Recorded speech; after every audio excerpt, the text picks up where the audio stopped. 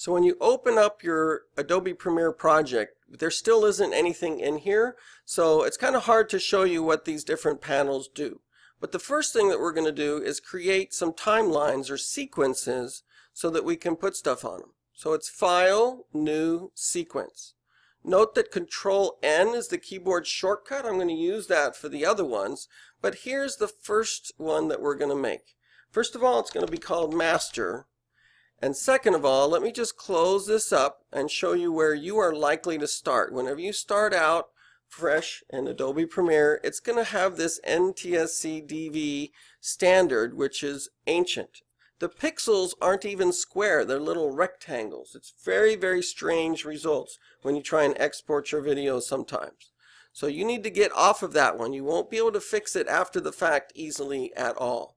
Look for AVCHD and we're going to be using the 1080p, P meaning progressive, like a flipbook animation. It used to have to be interlaced. Now the 720 is like the standard DVD and the 1080p is Blu-ray. So we really are taking it up to a very high resolution. So these should look really nice and sharp when you upload them to your YouTube channel. And you can see what the numbers are right here, 1920 by 1080. So there's master, that's my first sequence. I'm going to click OK, and now you can see right here under project, a master timeline. And it opened it up over here as well. Notice that it starts at zero, and there's this thing I call a laser pointer. It used to be red in previous versions, but it's actually the current time indicator. It tells you exactly how many seconds and frames you are.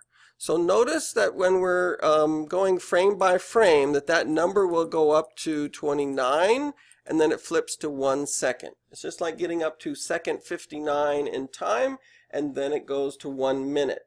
But we work with frames, parts of a second, 30 frames per second. All right, I'm going to hit Control N and create these other ones.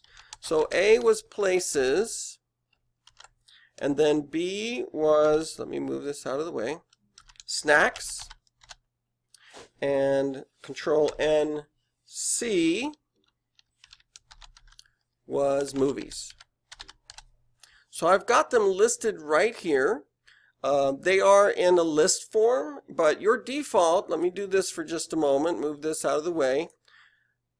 This is the thumbnail view. So since there's nothing on these timelines, you just see a black box. But you can switch back and forth between those two views by using these two icons. I couldn't get to them the way I was uh, before. So let me put that back and show you that when you close these, accidentally or on purpose, they're not like gone forever. Every year somebody freaks out because they closed all their timelines and they thought all their hard work was gone, but you just double click on it over here and it opens the timeline back up. Now this is the icon for the selection tool. There are easy ways of accidentally ending up with other tools. So if you see something funny, just make sure you're going back to that. And the other thing that gets turned off is the snap to. It's going to be very handy. I'll show you later on.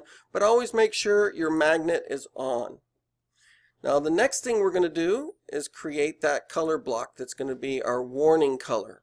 So I'm going to go to File, New, and this is one of the several things that you can make here, but we're going to make a block of color. Just use the default size and just drag it down to the lower right hand corner. This is the color picker for future times when you may need a different color, but everybody's going to use this shade of red for their warning and call it warning color.